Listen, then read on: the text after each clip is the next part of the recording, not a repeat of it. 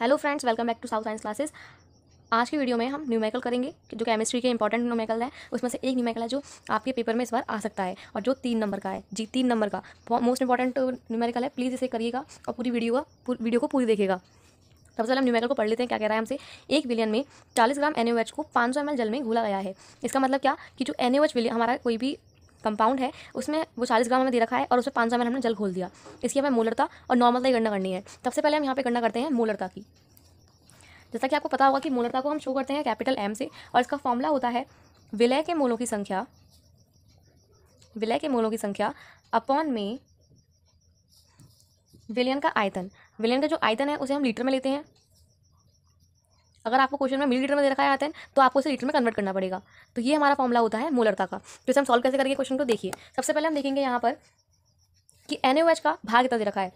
तो हमारा जो भार है, वो है हमारा चालीस ग्राम।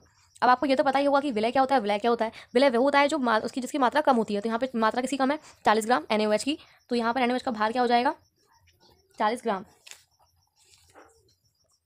अब इस भार का यूज़ क्या है वो देखते हैं। सबसे पहले देखिए, विलय के मोलों की संख्या है। अब मोलों की संख्या क्या होती है? वो तो हमें पता ही नहीं है। तो फ्रेंड्स मोलों की संख्या का एक फॉर्मूला होता है।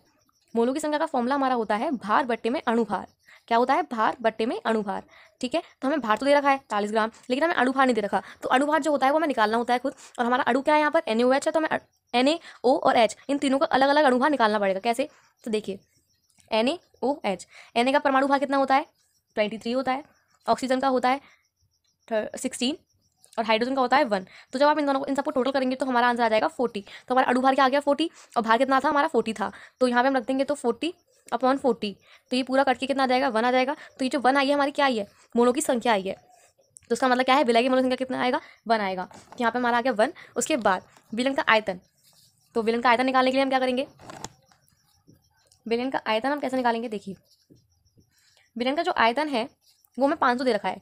लेकिन इसमें एक प्रॉब्लम क्या है कि ये हमारा एमएल में दे रखा है। किसमें दे रखा है? एमएल में। तो लीटर में कन्वर्ट करने के लिए हम क्या करेंगे? वन थाउज़ेंड का मल्टीप्लाई डिवाइड कर देंगे सॉरी वन थाउज़ेंड डिवाइड कर देंगे तो हमारा कितना आंसर आ जाएगा यहाँ पर? वन अपॉइंट टू और इस वन अपॉइंट टू को हम इस फॉर्मले में पुट कर देंगे। तो देखिए हम कैसे करेंगे?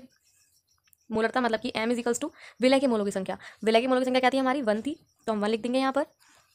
यहाँ पर, और हमारा विलन का आयतन कितना था? वन अपॉइंट टू था। तो यहाँ पे हम लिखेंगे वन अपॉइंट टू। अब इसे सॉल्व कैसे करेंगे? आपको पता ही है कि अपॉन के नीचे अपॉन होता है तो नीचे वाली संख्या होती है, वो ऊपर आ जाती है। तो यहाँ ऊपर आ जाएगी तो one multiply two equals two कितना आ गया हमारा? टू तो यहाँ पर टू मोल हमारे क्या हो गया?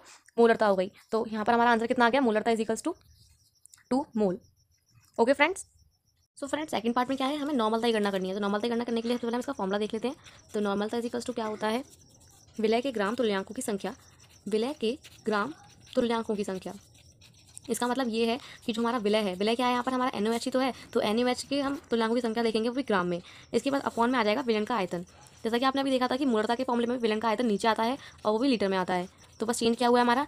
लीटर विलय के मोलों की संख्या की जगह हमारे विलय के ग्राम तुल्यांकों की संख्या आ गई है। इतना आपको समझ में आया? अब इसे सॉल्व कैसे करेंगे? सबसे पहले हम निकाल लेते हैं विलय के ग्राम तुल्यांकों की संख्या।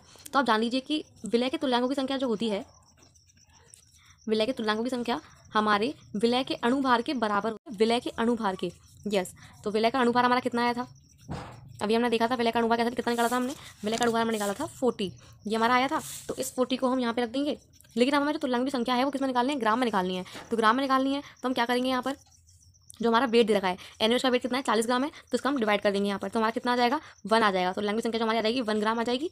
इस वैल्यू को हम कहाँ पुट कर देंगे? तो फ्रेंड यहाँ पर हमारा विलय की ग्राम तो लैंग्वेज संख्या तो आ गई, लेकिन अब विलन का आयतन। तो विलन का आयतन हमारा पहले जो आया था, वही होगा। तो विलन का आयतन कितना आया था? टोटल करके वन अपॉइंट टू आया था लीटर में। तो इन दोनों को हम फॉर्मुला पुट कर देंगे। तो फॉर्मुला क्या था हमारा? विलय की ग्राम तो लैंग्वेज संख्या अपॉन में विलन का आयतन। तो villain one upon one upon one upon two हो जाएगा ये भी। सेम ही चीज़ हो जाएगी।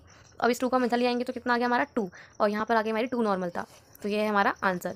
ये हमारा क्वेश्चन था और इसके दोनों पार्ट्स हो चुके हैं, मोलर था और नॉर्मल था। तो अगर वीडियो पसंद आए तो प्लीज़ लाइक करिए, शेयर करिए, कमेंट करिए और सब्सक्राइब करिए इस चैनल को। Thank you.